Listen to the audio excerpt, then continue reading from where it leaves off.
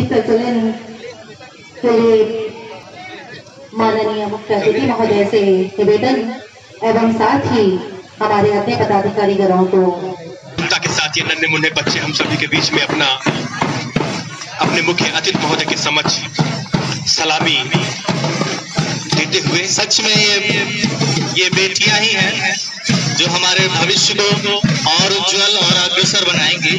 इनके लिए अपने घर घर में तूफ़ान मचा देंगे हमारे मुख्य अतिथि महोदय के समक्ष चैंपियन द्वारा प्रतिभागियों को शपथ दिलाया जाना है।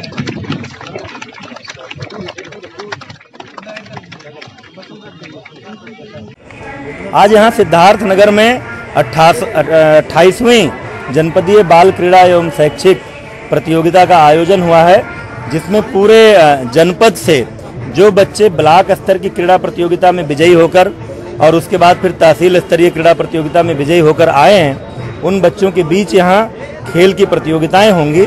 जो बच्चे यहाँ पर विभिन्न प्रतियोगिताओं में विजयी होंगे, वो फिर मंडल स्तरीय प्रतियोगिता में जाएँगे और फिर वहाँ से विजयी होकर प्रदेश स्तरीय प्रतियोगिता में जाएँगे।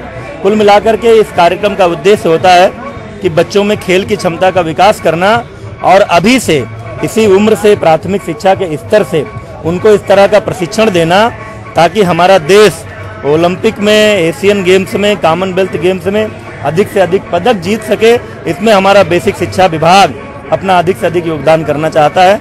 इसी के उद्घाटन के अवसर पर आज यहाँ आए थे।